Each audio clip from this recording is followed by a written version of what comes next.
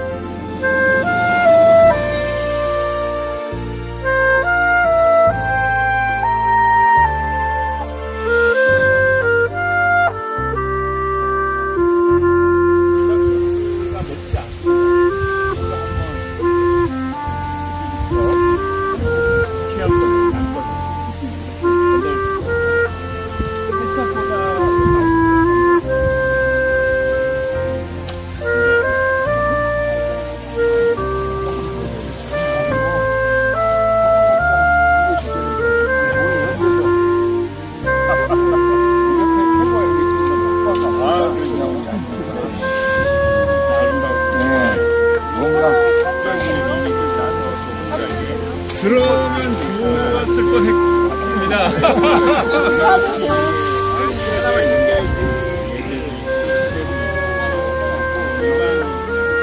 맞아.